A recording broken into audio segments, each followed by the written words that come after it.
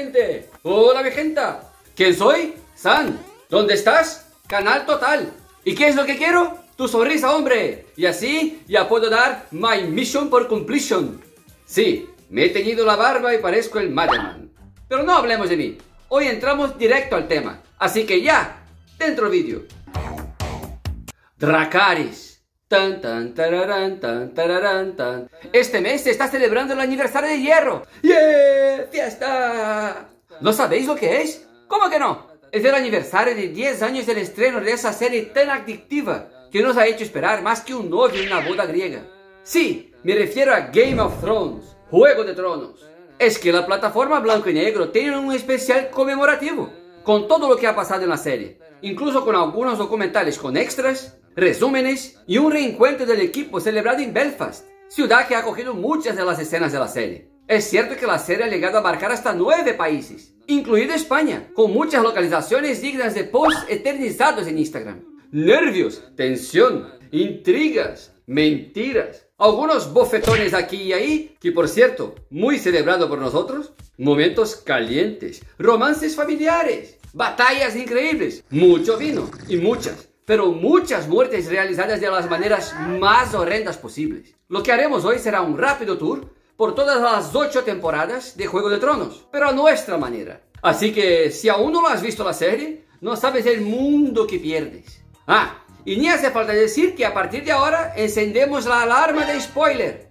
con lo que de ahora en adelante es por tu cuenta y riesgo. Juego de Tronos gira en torno del argumento de las cinco primeras novelas de George R.R. R. Martin, pero con ciertas modificaciones, además de material inédito, a partir de una descripción del autor sobre los eventos futuros de su universo literario. Ha sido catalogada como una de las mejores series de televisión de la historia por importantes medios como The Washington Post, Rolling Stone, Time, entre otros.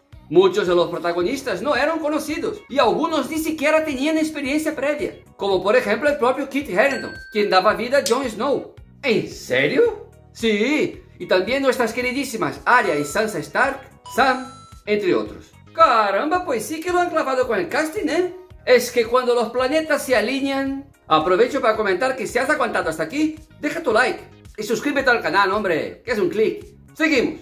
A ver, seamos sinceros. ¿Quién aquí no se ha vuelto loco, sobre todo al principio de la serie, con la cantidad de nombres, familias, lugares y afines que estaba pasando? ¡Caray! Si era mucho más difícil que la clase de historia. Tenía que estar muy, pero muy pendiente y atento para no perderse entre tantas presentaciones. Y cuando parecías que estabas más o menos familiarizándote con tanto lío, ¡pimba! Vienen y te ponen nuevos personajes, familias y encima lugares nuevos. Y suma y sigue. Pero claro, los señoritos y señoritas de HBO, que de tonto no tienen nada, ¿qué han hecho para hacer con que toda esa super mega clase de historia fuese mucho más amena?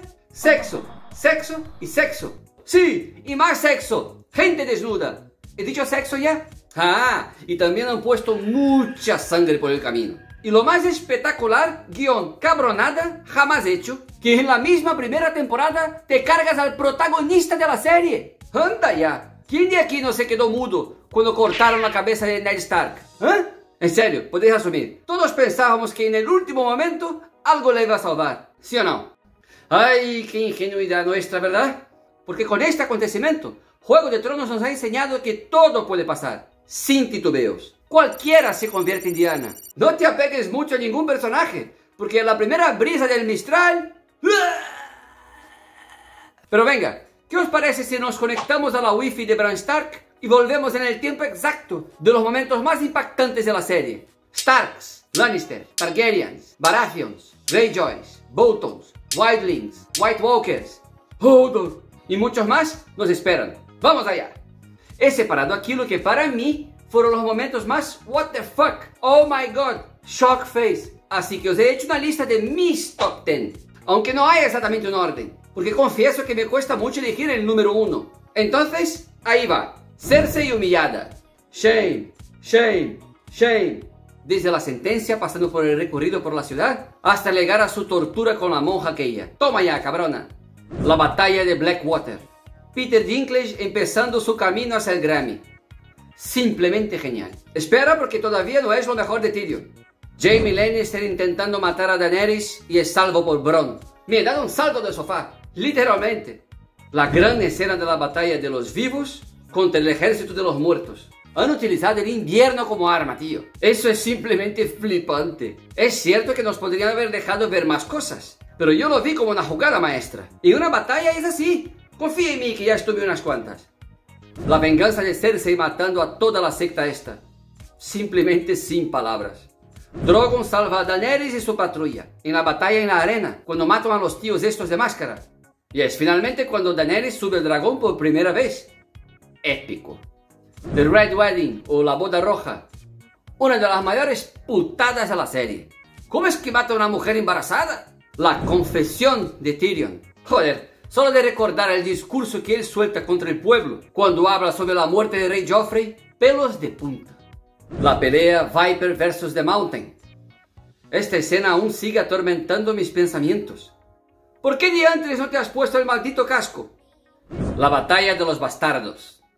En serio, revivir a Jon Snow para que luego lo maten en unos capítulos después no tendría ningún sentido. Pero ya sabemos que es Juego de Tronos. En este juego, o vives mueres. Así que ver esa batalla épica, además con el cabrón del Bolton siendo devorado por sus pierros hambrientos, satisfacción plena. ¿Sí o no? Oye, que somos todos unos sádicos, ¿eh? Menciones honoríficas. La batalla más allá del muro con el equipo A de Westeros. El primer equipo de superhéroes conocido.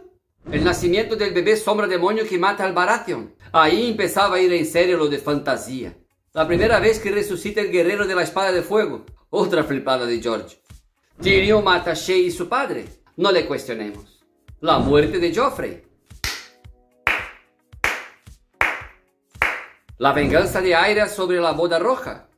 Quien con hierro hierre. La muerte de Jon Snow. Ah, otra vez matando protagonista. ¡Oh, dolor! ¡Oh, dolor! Viserys y una corona para el rey. ¡Ole, Caldrogo! La caída del muro. ¡Lo sabía! De hecho, yo siempre supe que el muro este iba a aparecer en algún momento en la intro destruido. ¡Toma ya! Sí, y hay unos momentos tontos también. El rey de la noche muere de una puñalada. ¡Una! Daenerys se vuelve loca en dos capítulos. Jamie Lannister viola a Cersei al lado del cadáver de su hijo. Oye, iros en la habitación, anda. La pelea entre Euron y Jamie. Sí, aquello fue un poco telenovela, la verdad. El destino de Jon Snow al final se tuvo que ir al exilio más allá del muro. Y ha pasado de todo. Shame, shame, shame. Y no puedo dejar de fuera al asesino sin rostro, a Bron, a Brienne. Madre mía, ¿cuántos son? El final ha decepcionado. Un poco sí. Pero me quedo con el conjunto de la obra. Juego de Tronos nos ha regalado momentos intensos, únicos e inolvidables. Resumiendo, Game of Thrones no trata de dragones, bebés sombras y criaturas legendarias sino que estos son apenas el carro ostentoso envoltorio de una maravillosa historia llena de poder, familia, legado y paranoia. Pues vámonos ya para la recomendación del día. Pues está claro que lo que os voy a recomendar hoy es la saga Canción de Hielo y Fuego. Eso es, los libros de Juego de Tronos. Sí, tienen que ser esas Biblias, porque la verdad es que mola tenerlas físicamente. Leer es importante, es cultura, es una afición legendaria. Los libros son nuestro legado a nuestros hijos, nietos y sus hijos y los hijos de los hijos, y así hasta hacer un linaje digno de la saga en sí. Pero, pero ¿qué te has fumado, tío? ¿Y qué? ¿Os ha gustado Juego de Tronos? ¿Os ha decepcionado mucho el final? ¿O creéis que ha sido correcto? Comenta ese momento épico que todavía lo recuerdas. Este que más te impresionó. El que no se te ha ido de la cabeza. Bueno, nenos y nenas, pues muchísimas gracias. Nos vemos en la próxima y hasta entonces, cuidaros mucho y no olvidéis dejar ese super like y sobre todo suscribiros al canal. Beso.